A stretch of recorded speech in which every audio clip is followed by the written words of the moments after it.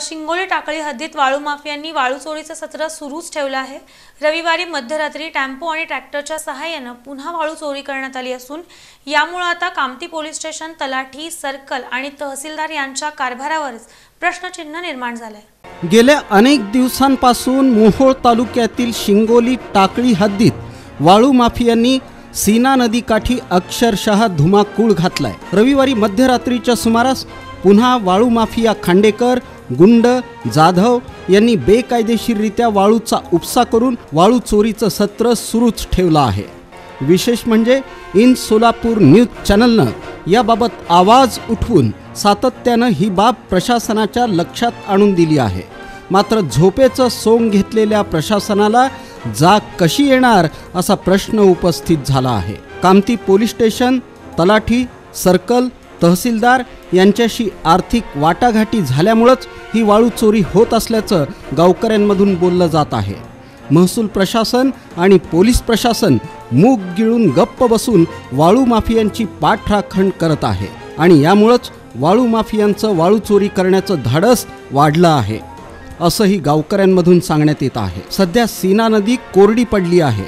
यामुळं वाळू माफिया दररोज बिनधास्तपणे बेकायदेशीररित्या वाळूची चोरी करत आहेत. तरी देखील कामती पोलीस तलाठी सर्कल तहसीलदार केवळ बघ्याची भूमिका घेत आहेत. त्यामुळं त्यांच्या कारभारावरच आता प्रश्नचिन्ह निर्माण झालं आहे.